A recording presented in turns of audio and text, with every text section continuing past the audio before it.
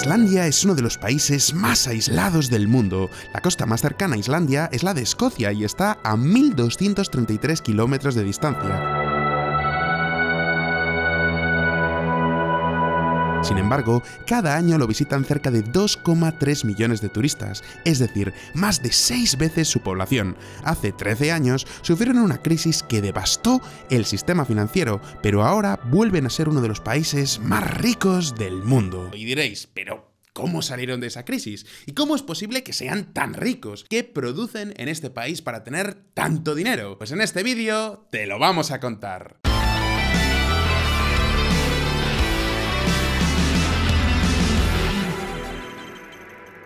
Islandia es un país tan pequeño y sobre todo tan aislado del mundo que hasta tienen una app, una especie de Tinder para ligar en los bares y asegurarse de que la persona con la que están flirteando no es un familiar lejano.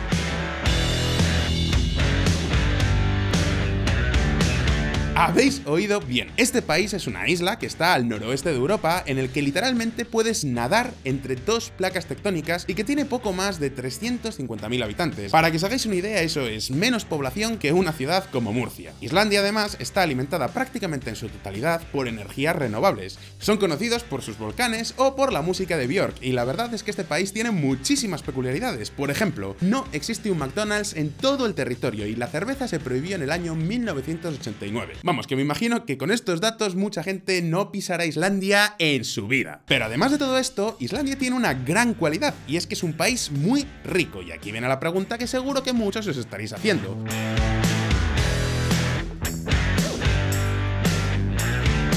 ¿Cómo han podido ser tan ricos siendo tan aislados? Pues eso vamos a responderlo más adelante, porque lo cierto es que aunque estén tan aislados, como ya os hemos dicho, es uno de los países más ricos y más modernos del mundo. En términos de PIB per cápita, los islandeses son más ricos incluso que los singapurenses, los estadounidenses o incluso los daneses. Además, este país cuenta con una distribución de la riqueza envidiable y es el sexto país con el índice de desarrollo humano más alto del planeta. Sin embargo, si Islandia es famosa por algo, es por la crisis financiera. Podríamos decir que fue el país más afectado por la crisis de 2008. Y os preguntaréis, ¿pero cómo es posible que un país que esté tan aislado pueda estar tan afectado por una crisis internacional? Y lo que es más importante, ¿qué hicieron para salir de esta crisis y continuar creciendo a ritmos de más del 4% anual? Pues atentos.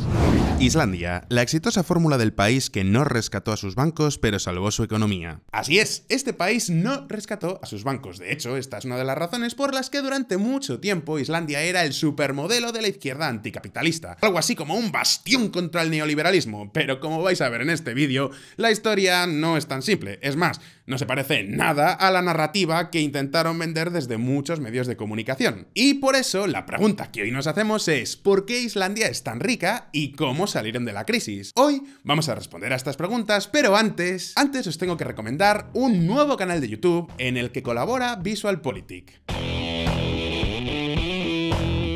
Hablamos de Si lo hubiera sabido, el nuevo canal de actualidad financiera creado por Mutuactivos. En este canal vais a descubrir todas las tendencias más importantes que mueven las finanzas internacionales. ¿Puede ser rentable invertir en empresas sostenibles? ¿Cómo podemos usar la bolsa para proteger nuestros ahorros de la inflación? ¿Cómo se está comportando el mercado de valores en la salida de la pandemia? Todas estas son preguntas a las que se responden en este canal. Todo ello, por supuesto, sin clickbait, sin sensacionalismo y con muchísimo, muchísimo rigor. Os dejo el link en la descripción. Y ahora sí, vamos a ver un poco de historia.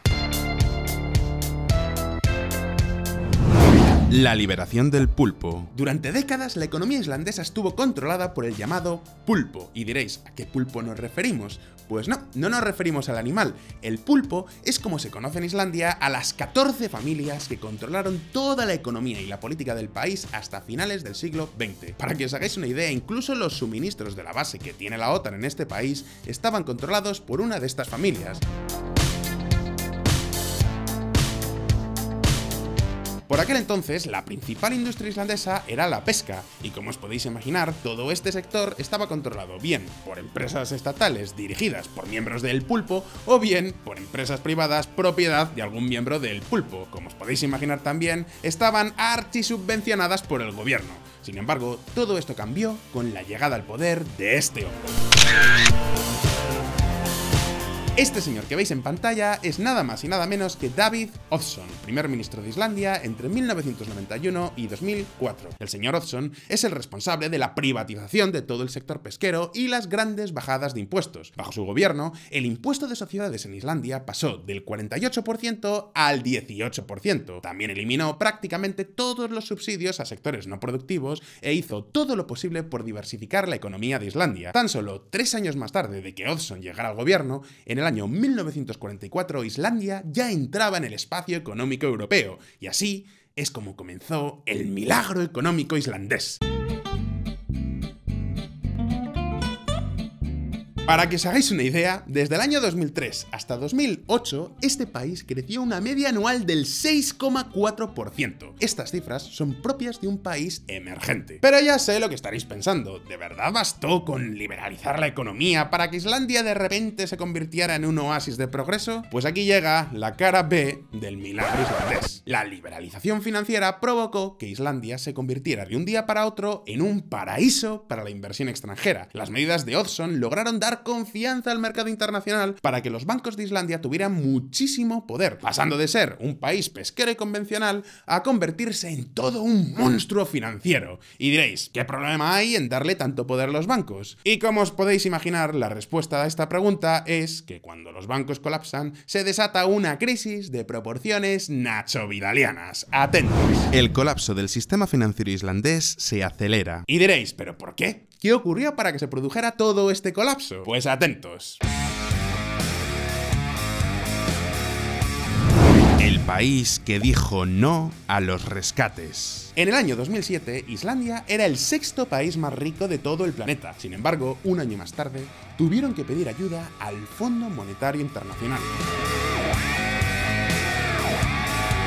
¿Cómo llegaron a este extremo tan rápido? Pues todo empezó porque en pocos años pasaron de ser un país conocido por la pesca, las plantas hidroeléctricas y los volcanes a ser todo un centro financiero. Para que os hagáis una idea, en el año 2008 una familia promedio islandesa era tres veces más rica que en el año 2003 y pese a no tener McDonald's, Islandia tiene la mayor concentración de campos de golf per cápita del mundo. Y diréis, pero ¿qué había detrás de todo ese crecimiento? Pues ahora mismo lo vamos a ver.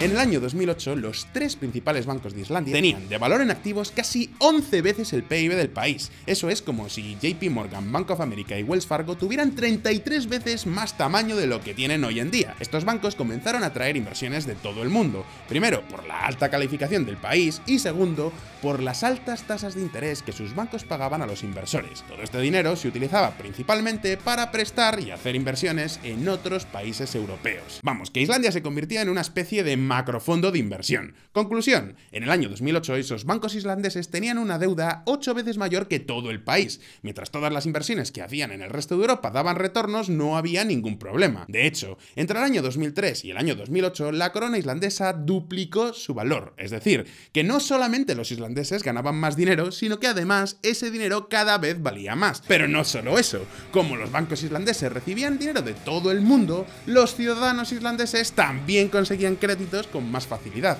De hecho, lo normal por estos lares era refinanciar las deudas hasta la extenuación. Y así es como Islandia, un país con la población de Murcia, se convirtió en un sistema financiero atado a una nación. Y os preguntaréis, ¿pero qué pasó para que todo este sistema colapsara? ¿Cuál fue el punto de inflexión? Pues creo que ya os lo podéis imaginar.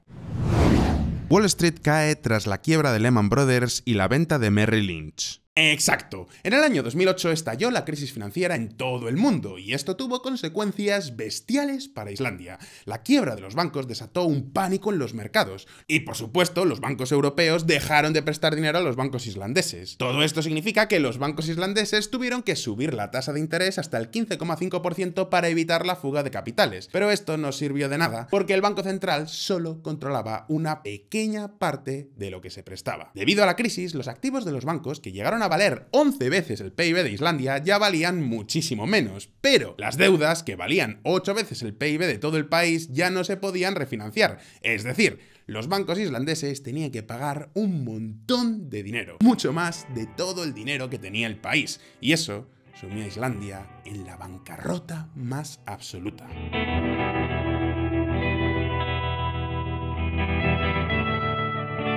Pero aquí no termina la historia, porque como los bancos tenían que devolver los préstamos, ¿qué hacían? Liquidaban sus activos en la divisa islandesa, es decir, la corona islandesa. ¿Y esto qué provocó? Pues que esta salida masiva de capitales hizo que el precio de la corona se hundiera. Dicho de otra forma, en solo tres días todo el sector bancario islandés colapsó, y ahí es cuando el gobierno tuvo que pedir un préstamo al Fondo Monetario Internacional.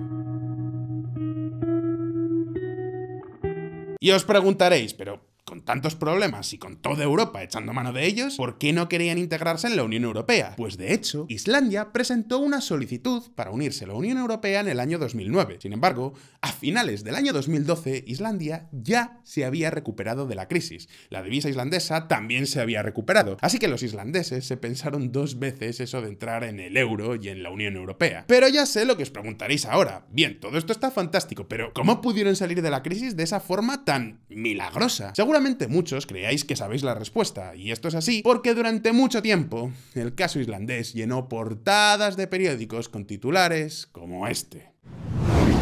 Islandia, el éxito de dejar caer a la banca y no salvarla con el dinero del contribuyente. Habéis oído bien, Islandia se convirtió en todo un símbolo de la lucha contra los malvados bancos que provocaron la crisis. Y sí, es cierto que Islandia fue uno de los pocos países que no rescató a sus bancos. Ahora bien, la historia es muy distinta a la leyenda.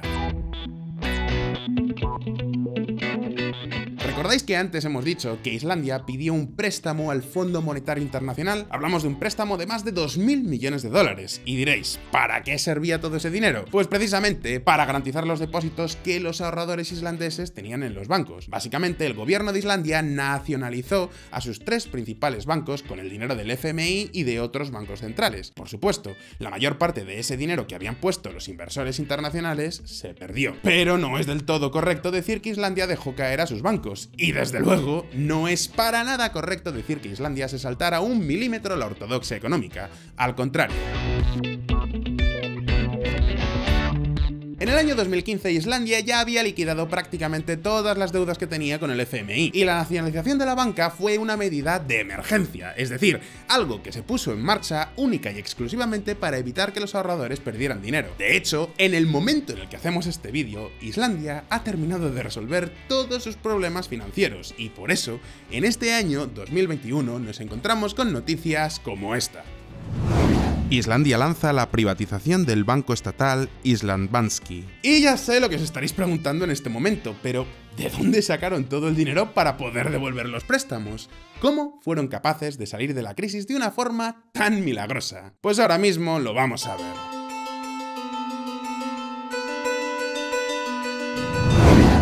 Canción de hielo y fuego. Si hay algo que ha hecho a Islandia archiconocida en todo el mundo es Juego de Tronos. Como seguramente sabréis muchos, Islandia fue el escenario de muchísimas escenas de esta serie. Pues bien, el hecho de que esta serie se grabara en Islandia tiene mucho que ver con nuestra historia. Básicamente, tras el cataclismo de 2008, los islandeses se dieron cuenta de que solo había una forma de salir adelante, y no, no tenía nada que ver con la ingeniería financiera ni con el maquillaje de las cuentas públicas. Creo que esto podría ser alguna buena lección para algún país que yo me sé. La única solución para volver a ser ricos es creando riqueza y permitiendo que surjan nuevos sectores económicos. Y diréis, ¿qué ventajas tiene Islandia que no tengan otros lugares? Pues entre otras muchas cosas, Islandia tiene un paisaje único en el mundo, casi parece de otro planeta, y esto es una oportunidad única para hacer negocios como este. Como Islandia se convirtió en el escenario perfecto para las películas de ciencia ficción de Hollywood. Habéis oído bien. Desde el año 2008, Islandia se ha convertido en el escenario de las superproducciones de Hollywood, desde los paseos de Jon Snow en Juego de Tronos hasta varias escenas de las últimas películas de Star Wars. El cine se ha convertido en algo tan importante en este país que en el año 2018 se han llegado a abrir enormes estudios de grabación. Pero no solo eso, ¿de qué otras maneras se puede monetizar un paisaje tan único en el mundo? Pues atentos. El turismo continúa siendo el principal motor de crecimiento. El 47% de los nuevos trabajos creados en los últimos 12 meses viene del turismo. Seguro que muchos de vosotros habréis visitado Islandia en los últimos años, y si no, seguro que tendréis algún amigo que lo ha hecho, y no es casualidad. Hasta los años 2000, solo algunos mochileros se atrevían con este país, pero desde el año 2009 el turismo en Islandia se ha disparado. Atentos a esta gráfica. Aquí podéis ver cómo el turismo en Islandia ha despegado tras la crisis de 2008. De hecho, antes de la pandemia del coronavirus, Islandia llegó a superar los 2 millones de turistas al año. Eso es casi 5 veces la población total del país. Y ya sé lo que estaréis pensando, ¿cómo han reaccionado al coronavirus? A fin de cuentas, si hay una industria castigada por la pandemia, esa es sin duda alguna el turismo. Pues lo cierto es que Islandia está explotando muchas otras cosas aparte de su paisaje. Veréis, al devaluarse la moneda local, los bienes y servicios islandeses se hicieron más baratos para los extranjeros. Principalmente uno, el aluminio. Atentos a esta otra gráfica. Como podéis ver, Islandia no ha perdido el tiempo. Tan pronto como estalló la crisis, el país se puso a exportar aluminio como si no hubiera mañana. Este país puede ser casi un microestado, pero ahora mismo está entre los 10 productores de aluminio del mundo. Cada año exportan unas 840.000 toneladas de aluminio. Y por supuesto, a todo esto hay que sumarle otra exportación típicamente islandesa, el pescado. De nuevo hablamos de otro sector que se ha disparado tras la crisis del año 2008. Y pensadlo bien, solo con el turismo, la pesca y el aluminio, Islandia podría haber salido muy bien parada de la crisis. A fin de cuentas, estos tres sectores se caracterizan por dar trabajo a muchísima gente. Todo esto por sí mismo serviría para explicar cómo Islandia atajó todos sus problemas de desempleo derivados por la crisis, pero lo cierto es que la economía de este país es toda una caja de sorpresas